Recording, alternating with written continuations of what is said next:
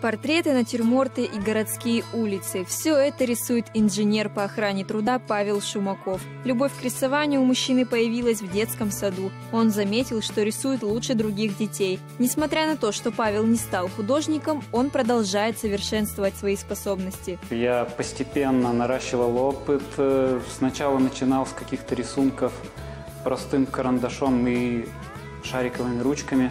Потом попробовал портреты простым карандашом. Э, потом начал смотреть, э, хорошо, что у нас э, есть интернет и много полезного можно там найти. Потом начал смотреть различные видеоуроки, ну и сейчас продолжаю тоже смотреть.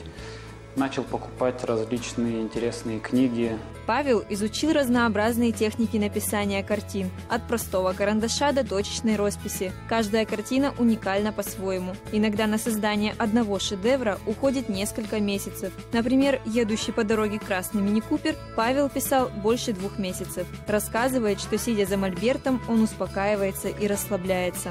Во-первых, я забываю обо всем, обо всех проблемах бытовых, э, просто отключаюсь от всего этого. И единственной моей проблемой, то есть даже не проблемой, а задачей стоит э, как бы, как бы подобрать верный цвет в работе, как вот здесь не ошибиться в пропорциях. То есть единственная проблема только в этом. От остального я отключаюсь.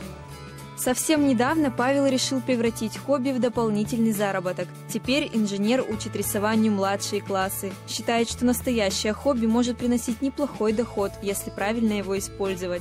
Я советую, конечно, этим заниматься, даже если вы думаете, что у вас не получается, это все неправда. Как только вы начнете рисовать, вы сразу поймете, что это очень хорошее увлечение. В планах у Павла организовывать выставки. На них он будет показывать свои картины. Ангелина Сапрыкина, Евгений Чекалов, ОТВ.